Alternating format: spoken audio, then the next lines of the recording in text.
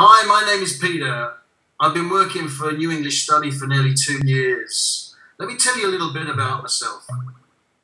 I was born and brought up in southern England, but for the last 12 years I've been living in Scotland in a town close to Edinburgh. Before I started teaching, I was a police officer in London.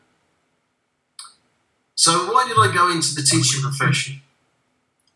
Well, I've always been interested in languages. I studied German at London University and I also know French and Spanish. So, to teach English as a foreign language was an obvious second career choice. Meeting people from other cultures has always fascinated me. I've taught in schools and as a private tutor teaching students from many countries, including Russia, Poland, Ukraine, Brazil, Korea, France, Italy, Argentina, China. And I've always enjoyed teaching at levels from beginner to proficiency and helped many students prepare for the well known University of Cambridge English exams.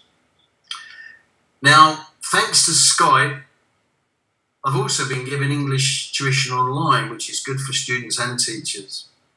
There are useful facilities such as screen sharing, sending files, and text messaging.